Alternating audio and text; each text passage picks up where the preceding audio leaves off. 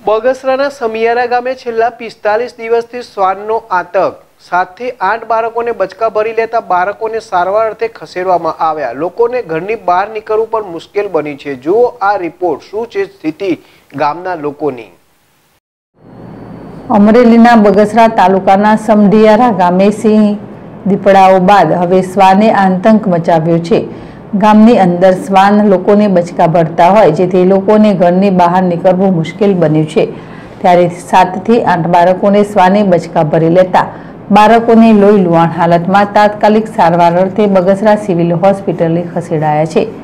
ત્યારે અમુક બાળકોને શ્વાને વધુ બચકા ભરતા વધુ સારવાર માટે અમરેલી અને રાજકોટ રિફર કરવામાં આવ્યા છે.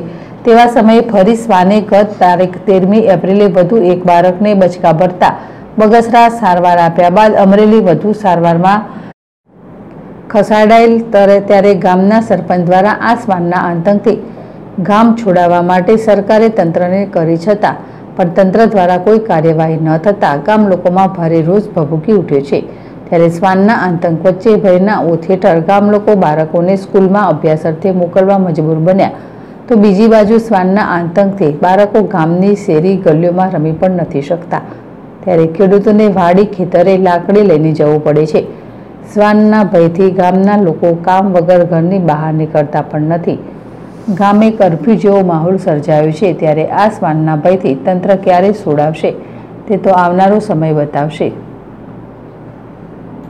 અશોક મણવર, જેડેશ ટીવી, અમરેલી. ગામની અંદર છેલ્લા દોઢક મહિના થયા કૂતરાને એટલો બધો ત્રાસ છે કે જે નાના છોકરાઓ છે એને દરરોજ સાતથી આઠ બાળકોને અત્યારે પાડી ખાધા છે. તો આને માટે અમે રજૂઆત બધા તંત્રોને કરી, પણ હવે આને માટે કોઈ પણ પગલાં લે એવી અમારી માગણી છે. કારણ કે અત્યારે નાના છોકરા તો ઠીક, પણ મોટા બૈરાઓ નીકળે પણ તો એમને અત્યારે બહાર નીકળાય નહીં. આવી ભયનો માહોલ ફેલાવી દીધેલો છે.